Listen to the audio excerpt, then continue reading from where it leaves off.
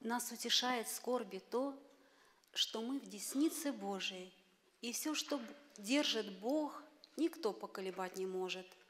Первосвященник наш Христос и ныне держит чаши молитв и выплаканных слез и всех страданий наших. Когда же нам идти не мочь, Он силы наделяет.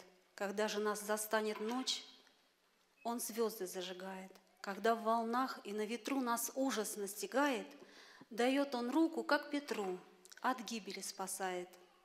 Наш Бог – надежда новых дней, не случай правит нами. Бог держит силою своей все-все и всех нас с вами. Аминь.